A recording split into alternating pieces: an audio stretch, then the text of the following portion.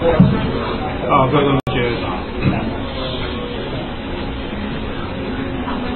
那我们今天的这门课呢，啊，继续介绍 potentiometry 这一章啊，二三章。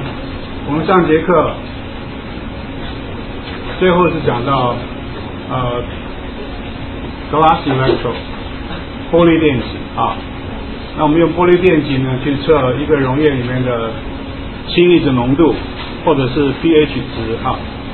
然后它整个装置的话是有一个玻璃电极，然后一个参考电极。那玻璃电极相对参考电极它的电位，我们有一个 pH meter 呢去量出来。那么这样一个装置图呢，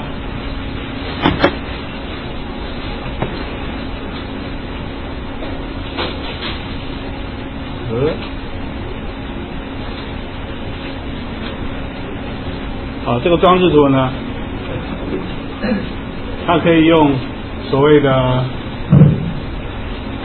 line diagram，用这样一个符号的方式啊来表示。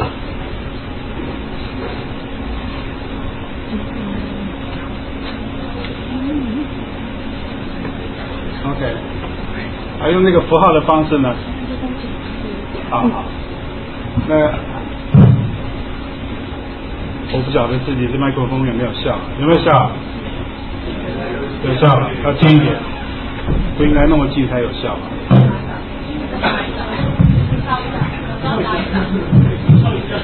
啊，好。那我们要量的是分析溶液里面的氢离子浓度啊。那你量到这个电位，那这个电位是在什么地方的一个电位呢？那那个电位就是在在这张图里面啊。我应该继续。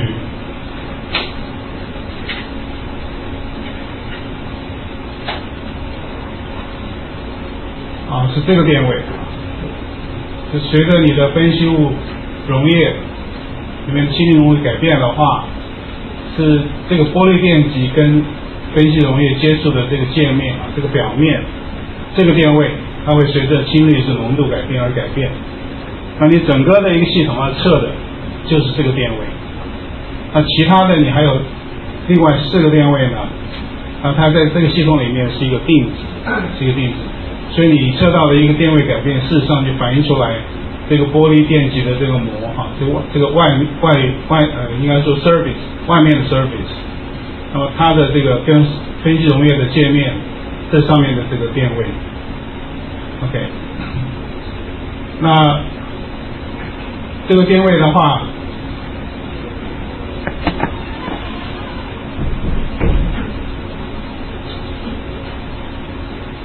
我们有这张图，我们上节课也讲过了啊。这张图呢，能够表示出来，就这是代为一个玻璃膜，那玻璃膜的里面有一个零点一 mol 的 HCl，internal solution，零点一 mol 的 HCl，所以氢离子浓度是固定的，而且是蛮算是蛮高哈，零点一 mol 这个浓度算是蛮高，所以呢，你的玻璃玻璃膜啊，glass membrane 的内那个 internal 的内那个内层。它的 SiO，那么上面所接的氢离子呢会比较多哈，接的比较多。那不管多少，那基本上因为这个内内层溶液 internal solution 内部溶液呢氢离浓度固定，所以它接上去量是固定的，所以这个电位呢，在这个内层的玻璃膜上面，它的电位是固定的啊。我们在乎的是跟你的 external solution，就是你的 analyze solution 接触的这个面。那么，当你的氢离浓度比较少的时候，那么你接上去的就接在 SiO 的这个位置的氢离子呢就会比较少，也就是说没有接的这个负电荷的位置会比较多啊，比较多。那那当你现在放在一个溶液里面，氢浓度比较高的话啊，就代表氢离浓度增加了。那么当然接上到这个 SiO 负的。这个表面呢，那氢离子接上去的量也会比较多一点。那么接的量比较多的话，那整个的这个膜上没有接的这个负电荷比较少，啊，也就是说你在乎的这个膜上的电位的话呢，因为负电荷比较少了啊，位置比较少，没有接的，所以它的电位应该是增加的。所以你现在看到的这个量你量到的这个电位呢啊，就是这个膜上的电位它的改变。这膜上电位的改变呢，基本上就是你的 indicator 这个电位的改变啊。那么它跟你的氢离子浓度，你的分析溶液氢离子浓度呢的 增加的话，接上去的氢离子就是在那个膜上的负那个负负电荷的位置接上氢离子比较多，所以呢没有接的比较少啊，所以它的电位呢变得比较正啊，所以我们的这边是一个正号。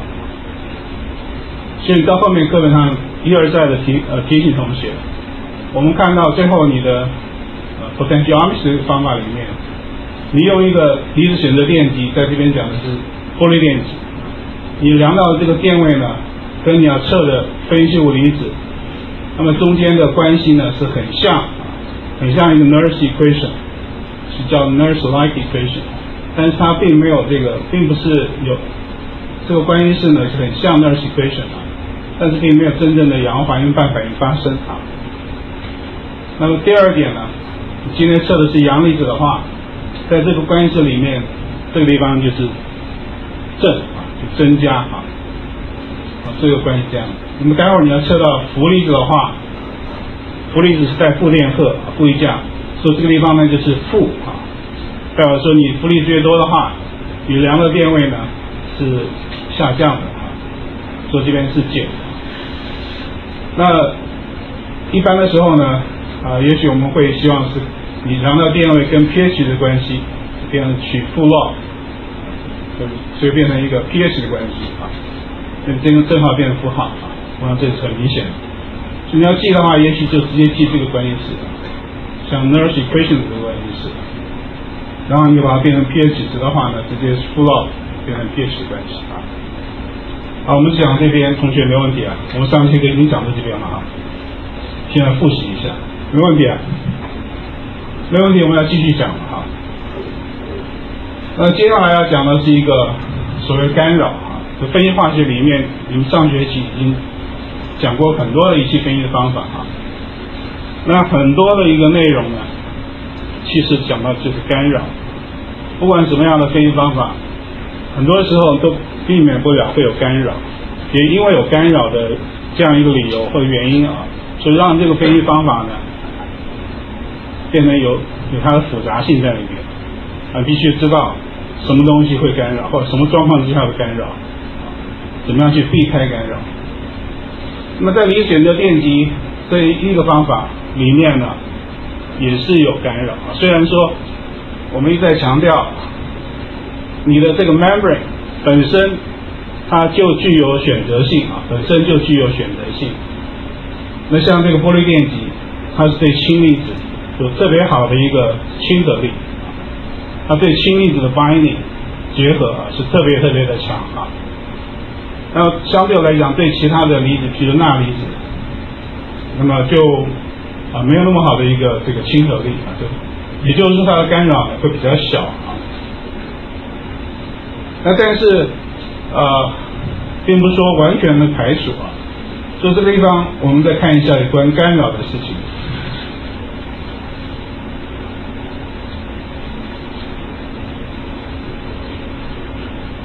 那么今天假如说我要测一个溶液啊，里面这个氢离子浓度啊，就 pH 值。那么现在有一杯溶液呢，有两杯溶液都是相同的啊，氢离氢离子浓度相同啊。但是有一杯呢是没有钠离子，我们假如说考虑有一个干扰离子，这个离子是钠离子啊，那么它的干扰会有干扰的话，钠离子干扰比较大啊。那一杯是这个没有钠离子，另外第二杯呢有比呃比较高浓度的钠离子啊。那么这个时候你去测，这里面氢离子浓度两杯是一样，一杯有钠离子，一杯没有钠离子。那你就去看，就测一下，这两杯里面测到的这个电位啊，那么是不是一样？那如果说两杯测到是一样的电位的话，代表说钠离子有没有干扰？没有干扰，对不对？存在不存在，结果都一样，测到的电位都一样，代表钠离子没有干扰。所以说你的这个一个离子，它对你的测量有没有干扰的话，那么我们也许就可以用一个式子来把它表示出来啊。在这个式子里面，各位看一下，我要测氢离子，你的对象分析离子呢是氢离子，就是这个氢离子前面这一项。这个关系是跟上面这个一样，那中间呢是多了第二项，那这个第二项呢，就是把你你认为说你要或者你想知道这个钠离子是不是有干扰，你把它放在它的浓度呢放在这个 B 这一项，然后前面有一个系数 K HB 哈，H 代表说你要测的是 H 离子，就氢离子嘛哈，那 B 呢就是你的。你的这个干扰离子，所以假如是钠的话，这边就是钠离子浓度，然后这边就是钠啊，B 就是钠，OK。那么说这一个离子呢有没有干扰，就看这个 K 这个系数啊。所以这个系数呢，在我们这个方法里面，这一章方法里面呢，特别单独的去给它一个定义或者一个命名叫 selectivity coefficient，选择系数，选择系数。那我个人觉得其实是干扰系数比较好，就是你这个离子，因为是看干扰离子嘛啊，钠离子，那么它的干扰系数就这个这个 K 值多大，那它是叫选择系数啊，所以我们不能把啊不能给它乱改啊，因为这是大家的公用的啊。但我个人觉得应该真正的意义呢，应该是干扰系数，就是这干扰离子呢到底有没有干扰性啊？那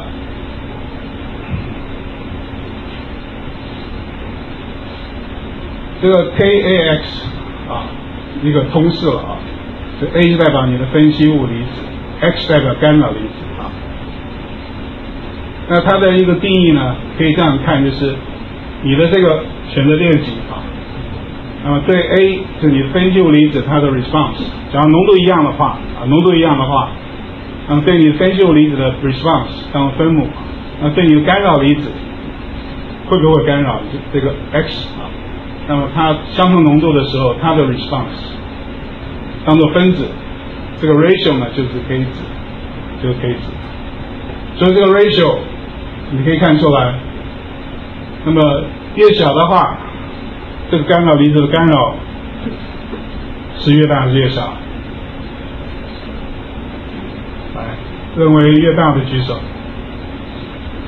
认为越小的举手。好，啊，不错啊，那个大大部分同学都举手了，没有错。所以这 K 值呢，假如定义是这样子的话，你明显可以知道啊。那么这 K 值越小是越好，这 K 值越小的话呢，那么你你要探讨的是干扰离子它的干扰性啊，对你的这个设定呢。设定氢离子钠离子干扰，然后 K 值越小的话，那么干扰是越小。我这个是很重要的一个关系啊，很重要的一个关系啊。啊，这个是啊这样很重要的关系啊。所以我当初不晓得这个第一个人发表啊 paper 里面呢，他自己给了一个名字或定义了啊这个 K 值呢系数叫做 selectivity coefficient，选择系数啊。那但是我觉得应该叫干扰系数比较好啊，因为探讨是干扰性啊。或别人这样定义了，大家都要用啊，我们我们就这样用。同学没有问题啊？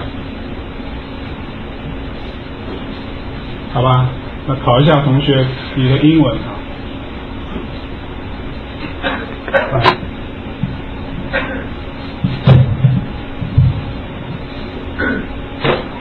我们看一下这个。英翻中怎么翻呢？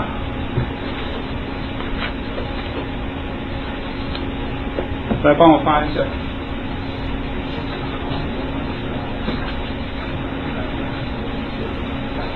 啊，你们再翻一点。哎，五分钟而已啊。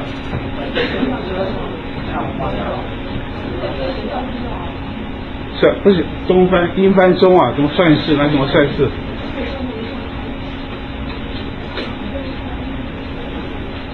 把这一行把它翻译成中文，它什么意思？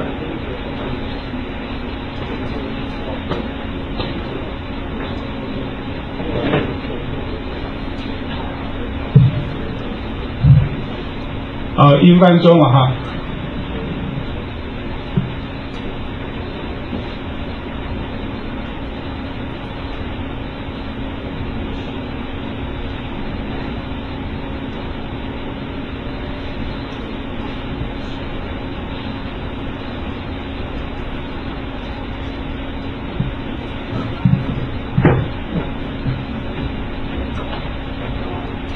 好，谢谢。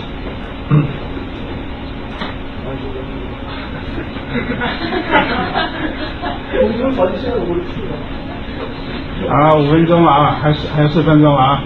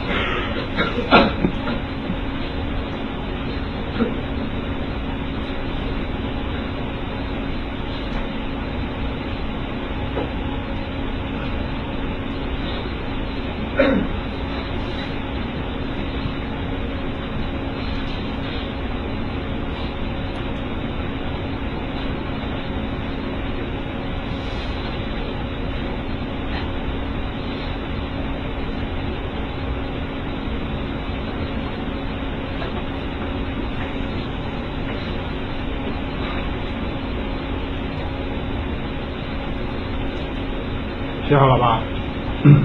写好没有？还有几个同学在写？好吧，不要忘了你们名字和那个学号。写好了吧？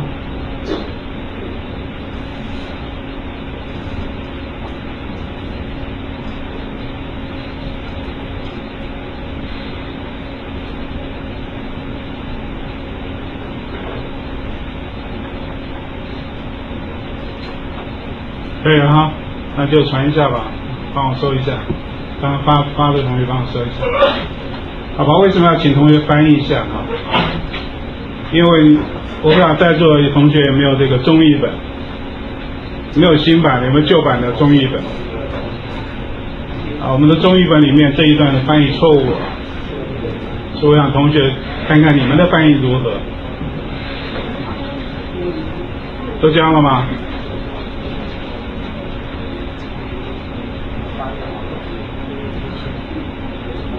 有没有谁帮我来说明一下，这中文意思什么意思？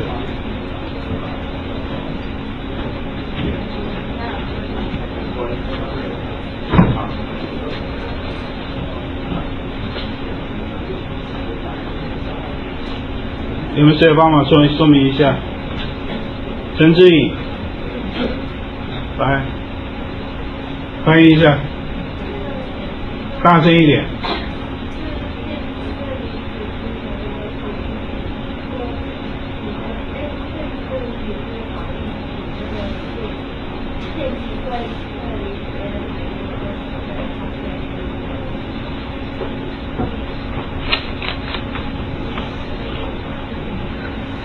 到前面来讲，我听不到，实在听不到。到前面来了，还是我把这个拉过来。可以。很长。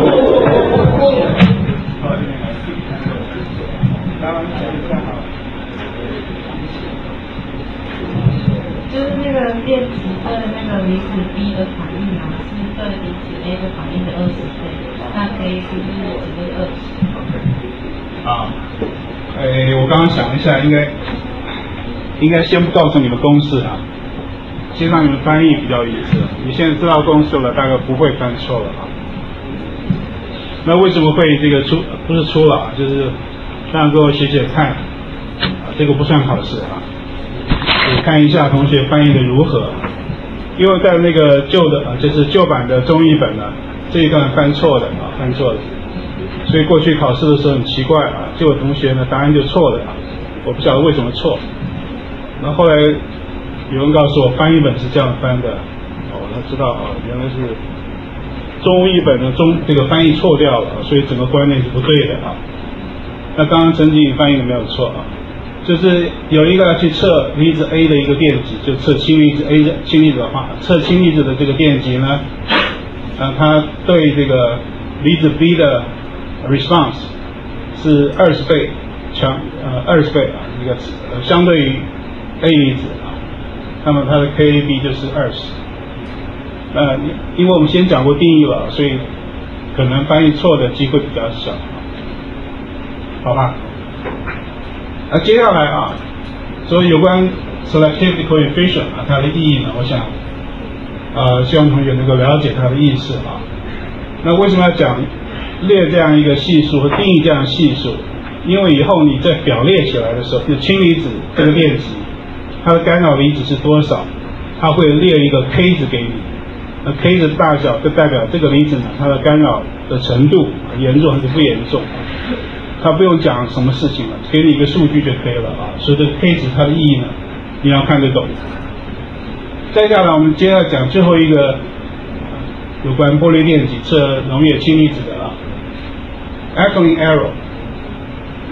Echoing error 的意思就是说，我们先看。下一张图好了，这张图呢，它是标题啊，是你的玻璃电极，它的 acid error 跟这个 echoing error。那这张图怎么看呢？纵坐标就是你去测到的 pH 值呢，它的跟真的 pH 值之间的误差哈，error delta pH 零在这边，上面是负。下面是正，横坐标呢是代表说你你测的这个溶液它的真正的 pH 值应该是多少，是在横坐标，所以真正的 pH 是多少？但是你用不同的这个有 A B C D E F 有四根电极，那么在四种不同的床这个条件之下，你会看到在低 pH 值的时候就很酸的时候啊。就 pH 小于零点五很酸的时候，那会出现正误差，就酸的误差呢是比量到的 pH 值呢，它会啊，它应该有的是这个 pH 值，就是比量到 pH 值是比你真正 pH 值要要高啊，就正误差。那减的时候啊，pH 值比较高的时候呢，那你量到的 pH 值呢？是比它真正 pH 值是要低啊，所以是负误差偏低。啊，偏低。啊，所所谓的这个 acid 或者 alkaline error，那么一般我们 acid error 比较少去啊会碰到，因为啊我我们先看一下，我如果问同学啊，pH 等于零代表什么意思啊？所以溶液 pH 等于零，代表这个溶液里面的氢氢离子浓度等于多少？谢宇轩。CDR 这四种不同厂牌的这个玻璃电子，相同的呢，是它们在这个溶液里面，除 Q 十二的话，除了氢离子浓度是十的负十二次方，也就是说 OH 啊 OH 的浓度呢应该是零点零一摩尔，零点零一摩尔。所以它们的这个氢离浓度是相同的，然后呢，这里面呢钠离子浓度高，都有一摩尔，是故意的。对。然后看一下这四个不同的电极呢，它们的这个误差程度，你可以发现 C、D 这两种，尤其 C 这一个，在课本上有提到过，光影零一五，光影零一五这样一个硅材质做的。它的节误差比较大，所以假如说用的是硒这个电极的话，那真正的这个 pH 溶液它的 pH 值是十二，但你量到的是偏低，低了零点零点七，你量到是偏低的话呢，就是小于十二，十一点三，应该是十二，但是用这个电极量的话呢，它会出现一个负的误差，偏低。负零点七，所以它是量到了十一点三，代表说准不准呢？准。那用低的话呢，也有误差，误差小一点；用低的话呢，误差就更小，F 几乎没有误差。就这个地方一件事告诉你，假如说你今天要去量一个碱性的溶液，pH 高，这么高溶液，这么高 pH 的一个碱性溶液的时候。那你要很小心的去确定你用的这个电极啊，它会不会产生所谓的 echo 碱性误差？你去量一定会量到一个 pH，但这 pH 准不准比较重要，所以你自己要有个概念啊。我们都学过化学啊，水果仪器分析了，要有这个概念。那么碱性的溶液的时候，我们到底会不会产生 echo error？这个。不同的电极的话呢，会有不同的一个表现。所以你买来电极的时候，它说明书上会告诉你，它适用范围在哪里。你适用范围零到十二的话，你要去测十三就不行，那一定会有。我告诉你是零到十的话，你测十一、十二不行，对。OK，所以这个是你第一件事情啊，会看到这样一个 echoing error。那接下来要去解释为什么是一个负的，就是为什么在测量高 pH 值的时候，啊有这个钠离存在的话，你测到的 pH 值呢比它真正应该的正正确的 pH 值，叫初初 pH 值啊，初 pH 值要要低负的 pH 值，为什么？这个理由其实很简单，我们这个想法是一样，是玻璃膜的里面，玻璃膜的。那么它，当你的溶液的 pH 值很高的的时候，代表它的氢离子是非常非常的低，对不对？那非常非常低的意思就是说，接在这个玻璃膜上的氢离子量就非常非常少，就它没有接的位置呢，负的位置很多。等氢氢离子来接，但你的溶液里面氢离子浓度非常低啊，很少。但是呢，有一堆的钠离子在里面，它也是这一角。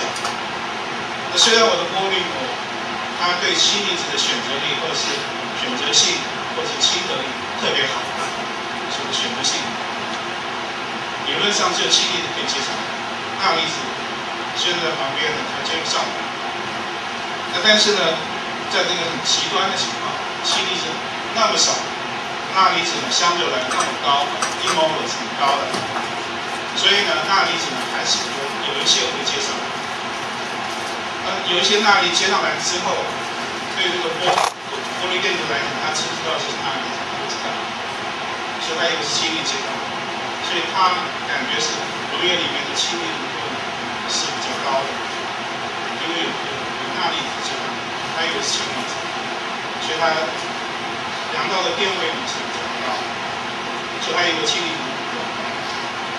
那氢离子比较高的话，pH 值就比较低，所以 pH 值呢就出现一个负的常位值在这里。就这样一个想法，有没有问题？这个要想通啊，就是啊，为什么会有一个电位？我们一开始讲，所以你的溶液里面氢离子很少的话，玻璃膜上没有接的负电荷的位置很多。有些钠离子呢不应该接上去的，那现在因为离子高跑上去了，所以他以为溶液里面氢离子比较高，所以有钠离子把它当做氢离子接上来，所以它反映出来的是代表说你溶液里面他认为氢离子浓度啊。比它真正的比较高，所以 pH 值呢就是误以为比较低，所以量到的 pH 呢，相对于它 true value true pH 值要低。为什么是负值？没问题，这个要想通啊，你你要听一遍也没关系的，不过你要想，听一遍的话。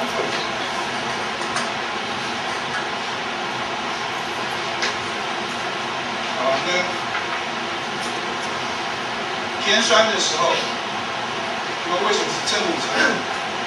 就是因为溶液里太多酸，太多氢离子，一大堆，它刚刚都接上了，那接的结果变成说，你的玻璃表面呢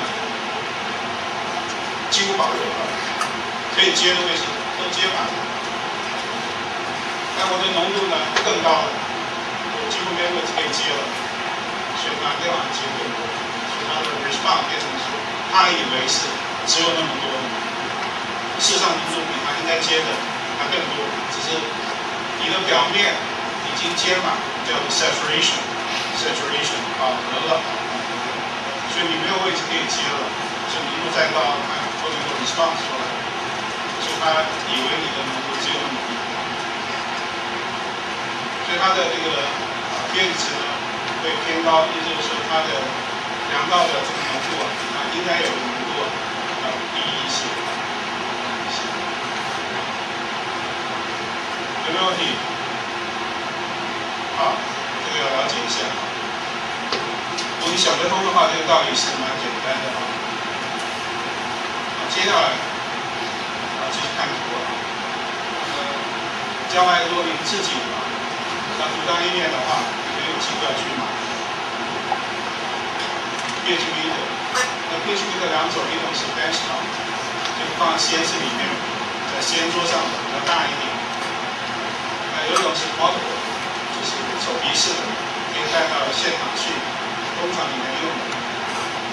那至于说这个玻璃电极或者说这个长关，这个 pH lecture，玻璃电极单支的或者说 combination 电极，它的外观啊，也是玻璃的是做胶的。有粗有细，有大有小，那看你的需要，都买得到，有长有短，看你的需要。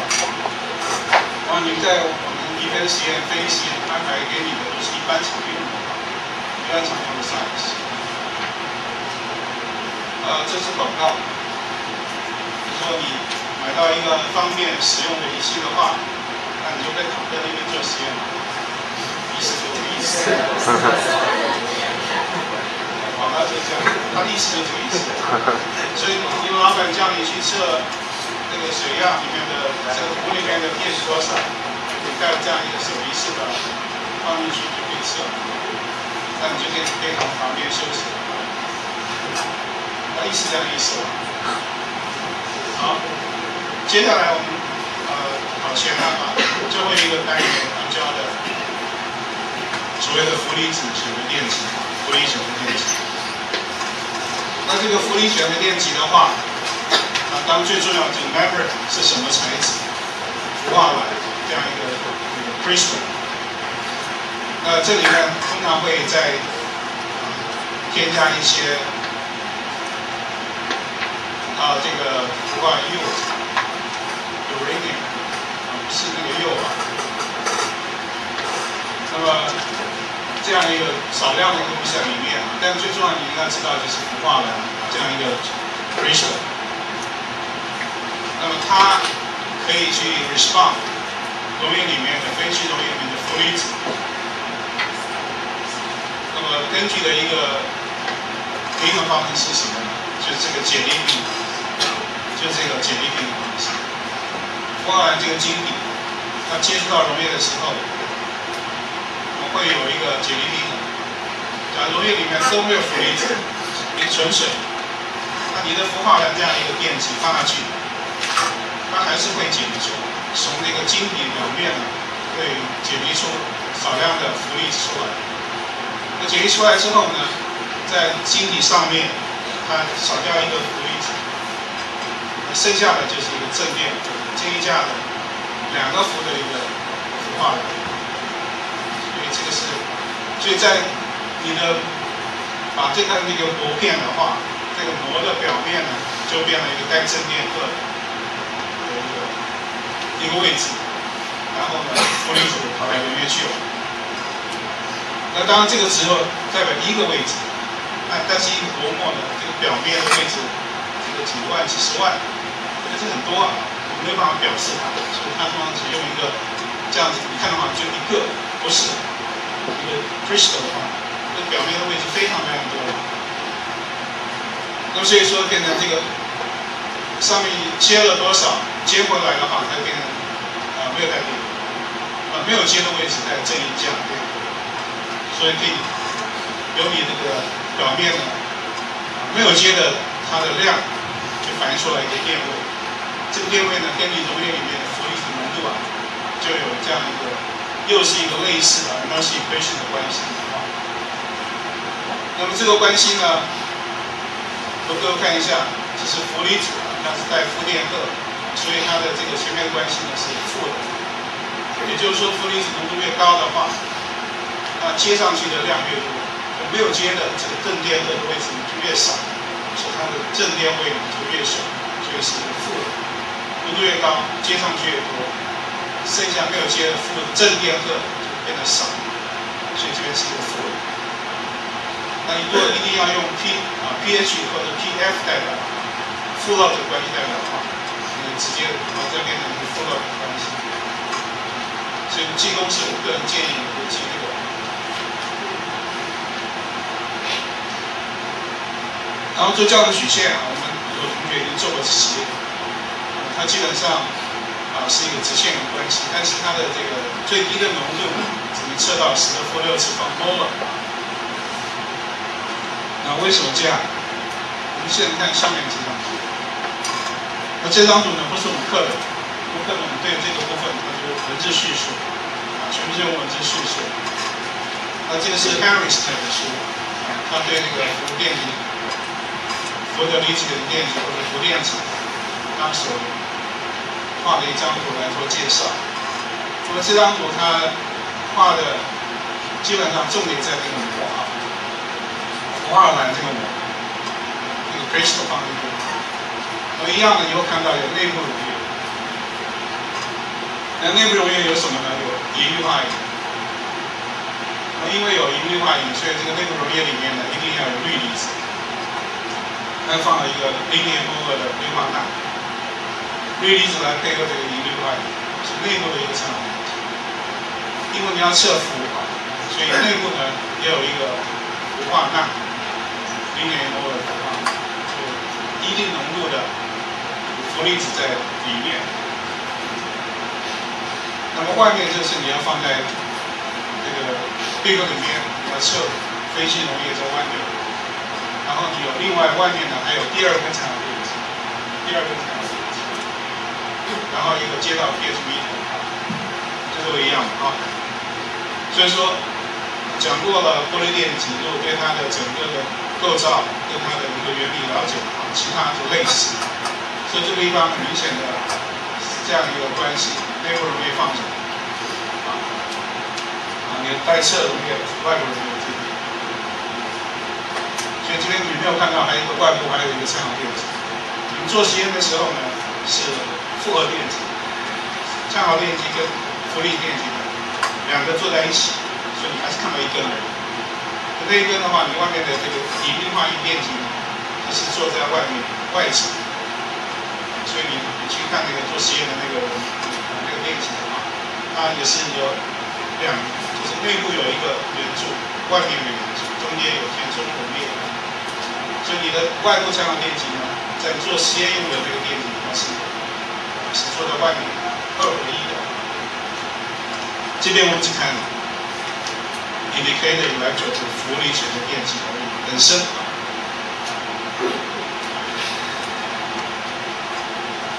那如果说你要讲这个道理的话，同样道理再讲一遍，有点考试，让你复习一下。好，这个是氟化的，晶体。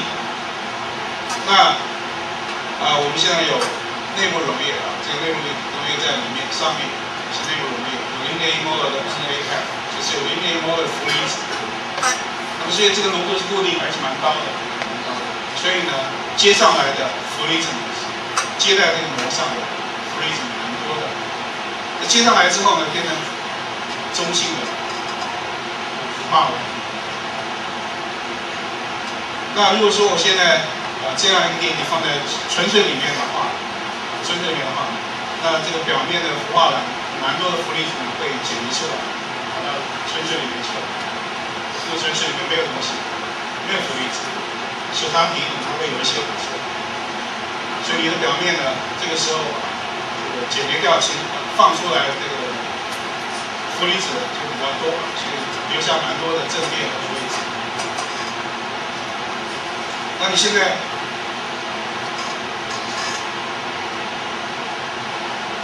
外部溶液，那么在外部溶液，如说现在呢，你你把这样一个电极从纯水里面。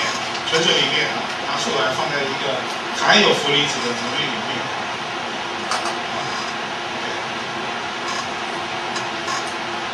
要放在一个含有氟离子的溶液里面。那么现在氟离子浓度在溶液里面，氟离子浓度比较高了，所以有一些呢就会接上来，所以表面呢没有接的正正电比较少。如果放在更高的浓度的氟离子浓溶液里面，那接上去的氟离子更多。所以没有接的就更少，所以这样一个平衡的式子就可以来说明，放在就是这样一个氟离子的电极，来去测溶液的氟离子，氟离子浓度越高的话，越多的氟离子呢会接回去，就表面没有接的正电荷越来越少，越来越少。所以呢，你看到的一个关系是，dk 的电位，它跟氟离子浓度有。这样的关系，而且这边是负的，那同学没问题啊？跟玻璃电极是原理是一样，原理是一样。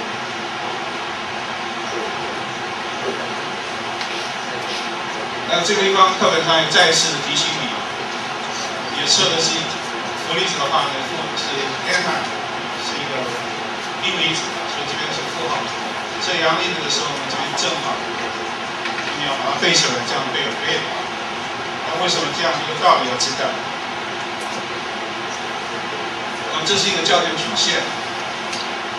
浓度越高的话，接的越多嘛，所以它的电位没有接的正电的正电荷的位置越少，所以它电位。浓度越来越低的话，接上去的越少，所以你正电位越高。到了这个十的负六次方。高了之后更低的话，就相当于是纯水。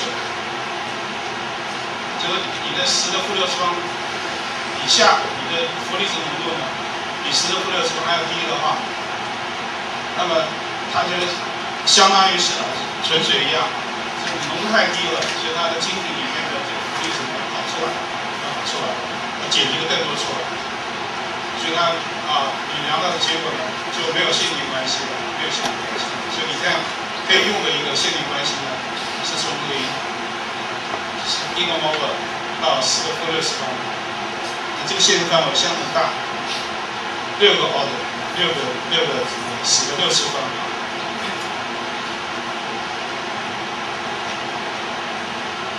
好，所以这个前面这几项我们都讲过了，线性范围可以到十个负六次方 over，算是相当的低啊。但是你说有没有干扰？还是有啊。这也是为什么你要做实验的时候啊，你的溶液要调它的均匀值，你的八分，你的适用的 pH 范围呢是五到八，八以上，你的 OH 离子浓度呢就慢慢的增加了。OH 离子浓度跟氟离子它的竞争力很强，就是说，氟化铨基本上氟离选择性非常好。第二个好。所以你不能让 OH 离子存在，所以不能太太紧。八是已经不算太紧，七是中性的，八是比七要高一点，所以那个已经不是很紧。要维持这个温水呢，几乎没有，因为它也会这个严重的影响。但也不能太酸，太酸的话呢，这边有个意思，HF 我们都知道 HCl。HBr 都是强酸强酸，那 HF 呢，呃，酸性没有那么强，所以它有 K pKa 三点一七，所以它不是完全解。因为不是完全解离，跟你说有氢离子浓度够高的话呢，它会把氟离子抓在一起，变成一个中性的分子，那么一个离子水平面你测不到，它只能测氟离子。一旦你浓度啊，这个氢离子浓度呢比较高以后啊。偏酸的的时候，那它就把那个负离子强起来，包起来，结合起来，变成 HF，变成一个分子。那负离子电极吃不到它，所以它的浓度就会下降。所以为什么不能太酸，也不能太碱？所以我们一定要选一个八分，它的 pH 值在，你的溶液要在五到八分。呃，另外这张表的话，我们先看我们这个考试，下课，好，我们考试，礼拜四考试，对不对？时时间的话，我想问一下班长，班长谁？我们这个教室早上几点钟开门？最早几点？谁最早？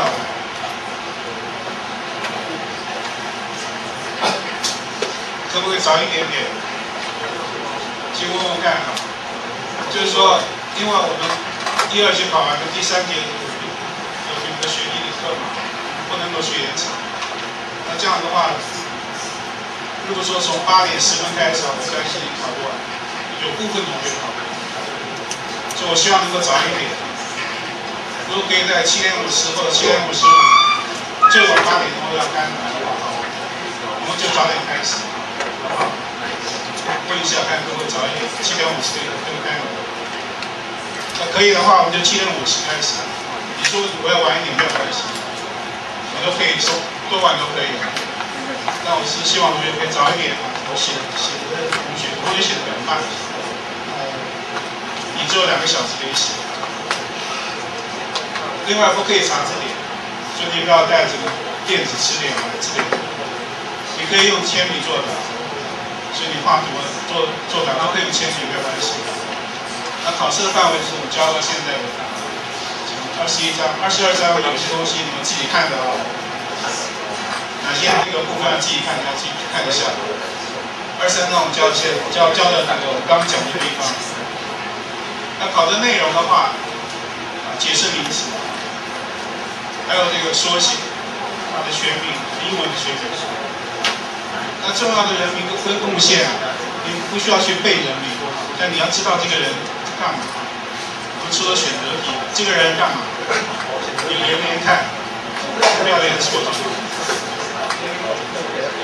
要养养成习惯嘛，这个英文英文那个名字要习惯去看。另外，刚刚最重要的是原理，仪器的构造，所以你要会画结构图啊。那原理要知道，另外有关的图谱表它的意义要知道。那当然不可以作弊。那呃，过去呢，好几学期吧，都都有同学哦带小抄，被我们抓到，有退学的，就自己自己退学，自己自己就是休学。哦，不可以有这样的心理，就我要准备来给你第一第一看抓得到我吗，不可以有这种心理，抓到你就来。另外呢，手机要最好这个呃，就是一定要关机，然后收起来。好吧，我们就下课了啊。有任何问题的，随时欢迎来问，早点来问，好？